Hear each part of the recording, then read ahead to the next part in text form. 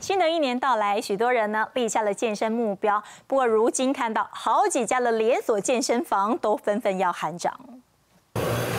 用力撑起身体，不停锻炼肌肉。新的一年到来，许多人立下健身目标。然而，恐怕还没瘦身，就要先瘦了荷包。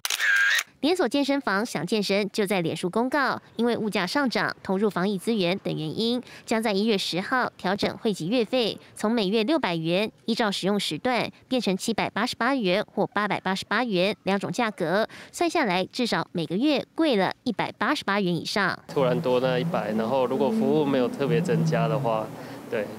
就会觉得比较吃亏一点。常在健身的民众恐怕很有感，因为就连全台健身房龙头 w o r Gym 也撑不住，宣布二零二二年起新入会会费将变贵，但涨多少还有待最后的定价确认。因运营成本增加，世界健身于二零二二年一月一日起将调涨部分会所新入会会员之费用，已入会的会员则不受影响。另一家健身工厂也跟进，宣布因为成本大增，加上服务品质升等，新加入的银卡会员月费元旦起涨百元，来到八百八十八元。看来万物齐涨，健身房也躲不过，民众来挥汗，恐怕也要跟着撒更多钱了。记者叶志雄、刘轩台北仓报道。